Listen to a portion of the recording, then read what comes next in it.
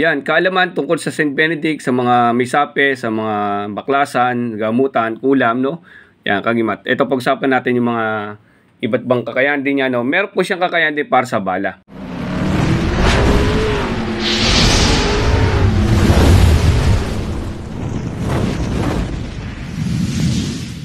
Yan, kaalaman tungkol sa St. Benedict, sa mga misape, sa mga baklasan, gamutan, kulam, no?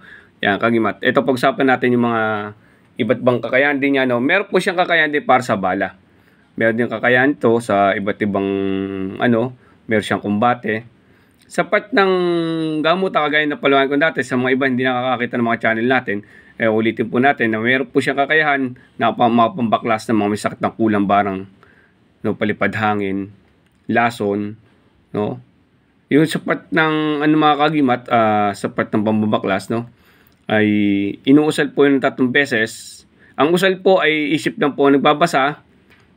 Wala pong bukang bibig at saka walang boses na lumalabas sa inyo. Yun po yung usal.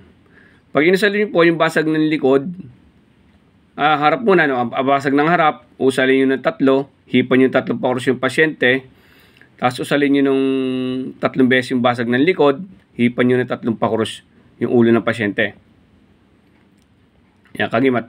Pwede nyo rin gamitin to sa tubig.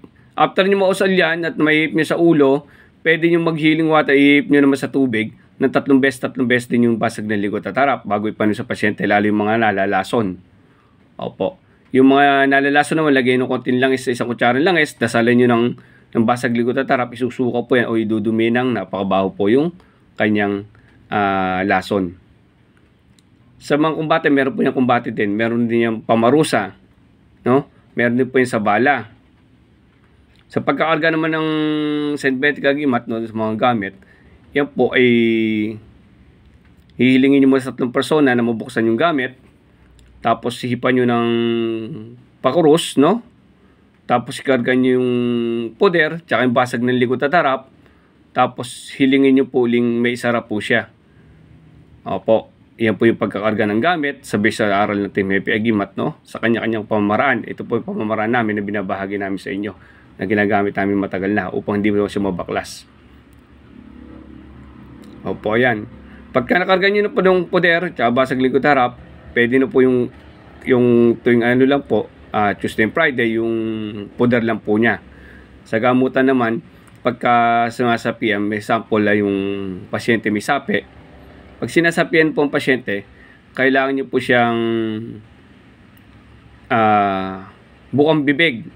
Kapag nagwawala yan, lalo mga demonyo, ano yun po, parinig nyo lang sa kanya yung basag ng likod at harap. No, ito sa ng po yung ating ano, patapos po yung video nasa bandang dulo yung ating basag ng likod at harap tsaka yung poder. Opo. Ay gamitin niyo lang po yan, yung basag ng likod at harap. Ano lang po, bigasin niyo lang po sa kanila nang nadidinig nung may sapi ng paulit-ulit ko lang badasalin. Sa una, akala nyo hindi tumatala. Pagka nakailang ulit kayo niyan, magwawala ng pasyente hanggang sa umalis na yung, yung sapi. Lalo yung magaling po yan sa mga demonyo po, mga engkanto, yan, mas magaling po yan. Talagang natuturete sila pag naririnig nila yung mga dasal ng St. Benedict. Yan, kagimat na paalala ko ha, pagka yung meron pong sapi nagwawala, padidinig po. Pero kung baklasan po, usal po ang gagamitin nyo. No? Pwede nyo po idagdag niya. Pagkatapos ng gamutan, pwede nyo ibulong din sa tubig at paiinom sa pasyente. No? Na may makatulong sa inyo kagamat itong konting kaalaman, inyong kagamat si Happy Agimat. No? Susunod, ibabagit pa natin yung mga sabalan niya, tsaka sa mga baklasan, tsaka sa mga kumbate niya. Yan, maraming salamat sa inyo na may makatulong sa inyo ang konting kaalaman na inyong kagimat, si Happy Agimat, may sa agimat, pero wala namang agimat, nasa puso ang tunay na agimat. At ito pa sa dulo, agimat yung ating dagdag kaalaman na orsyon. Tara, let's go!